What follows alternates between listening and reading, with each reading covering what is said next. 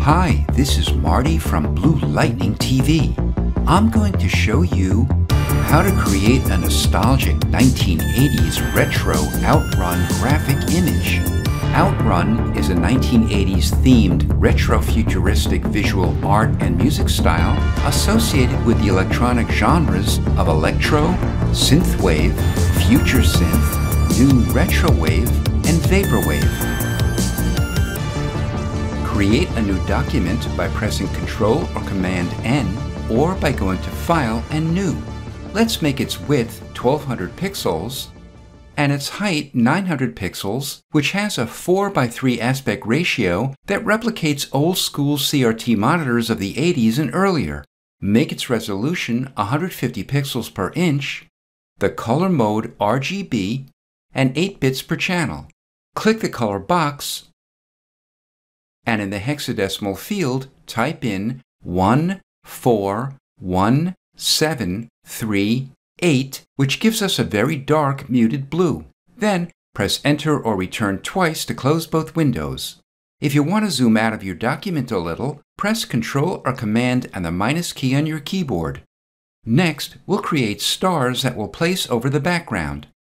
Click the New Layer icon to make a new layer. We'll fill it with black, but before we do, check your foreground and background colors. If they're not black and white respectively, press D on your keyboard. Since black is our foreground color, press Alt or Option plus Delete. Go to Filter, Noise, and add noise. The amount is 100%, Gaussian, and monochromatic. Go back to Filter, Blur, and Gaussian Blur. Blur it 0.3 pixels. Open your Levels window by pressing Ctrl or Command L. In the Input Black level, type in 220, and in the Input White level, type in 235.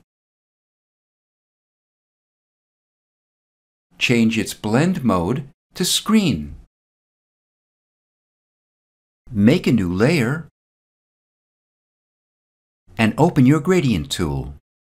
Make sure the linear gradient icon is active. Click the gradient bar to open the gradient editor. Click the black to white thumbnail. Go to the bottom of your document and press and hold Shift as you drag the tool up to the top and release. Holding Shift kept your cursor perfectly vertical. Go to Filter and Filter Gallery. Open the Sketch folder and click Halftone Pattern. The pattern type is line, the size is 6, and the contrast is 50. Temporarily hide the top layer. We'll make a new layer below it by control-clicking or command-clicking the new layer icon.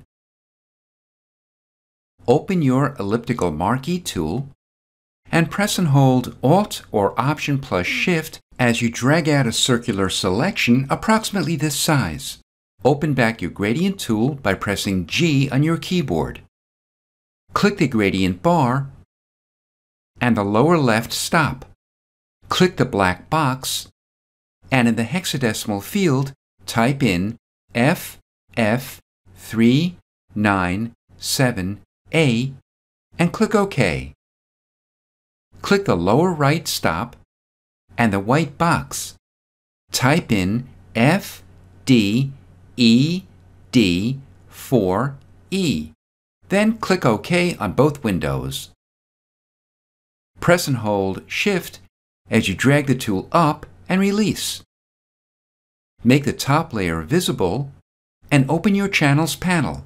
If you don't see it, go to Window and Channels. Control-click or Command-click the RGB channel to make a selection of its shape.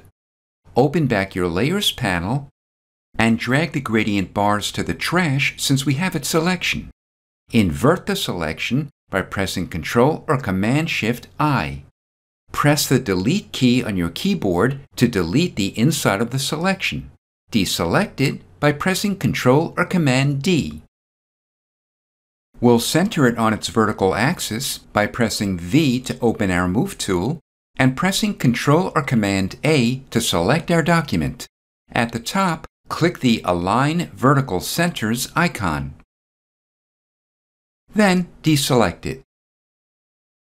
Click the FX icon and click Outer Glow to see it in the Layer Style window. Click the color box and type in FF0072. Then click OK on both windows or press Enter or Return twice. Make a copy of the layer by pressing Ctrl or Command J. Next, we'll add the grid. But before we do, let's save some space in the Layers panel by grouping the sunset layers into a folder. To do this, shift-click the lower sunset layer to make it active as well, and press Ctrl or Command G. I'll name it Sunset.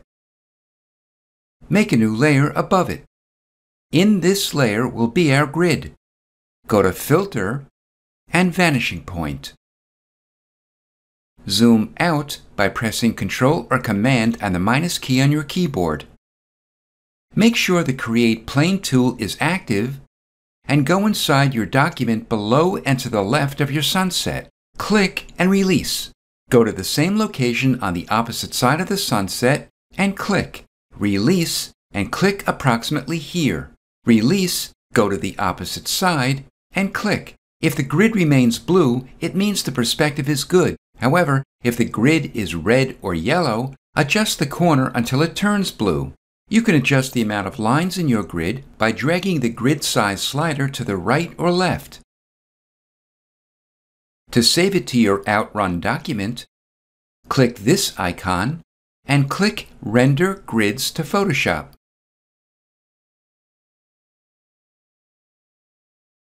It saved our grid to the empty layer we created. Double-click the grid layer to open its layer style window. Click Color Overlay and the small box. Type in FF5ED7. Click Outer Glow and the small box. We'll use the same color glow that we used for our sunset. Make its size 40 pixels and the range 35%. Name the grid layer Grid and collapse the effects to save space.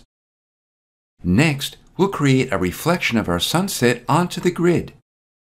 Make the sunset folder active and make a copy of it.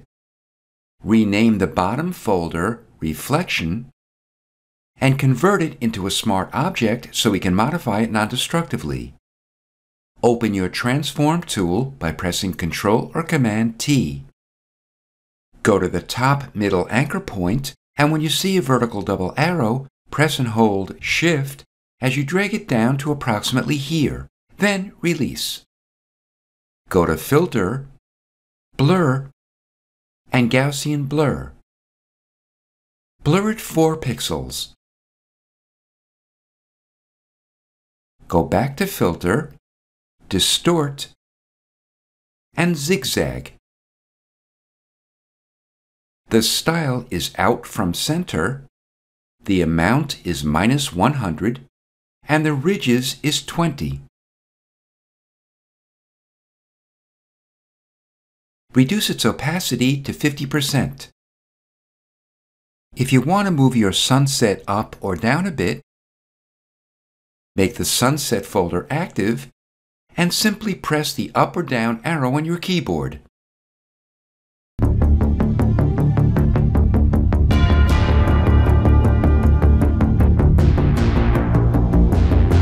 This is Marty from Blue Lightning TV. Thanks for watching.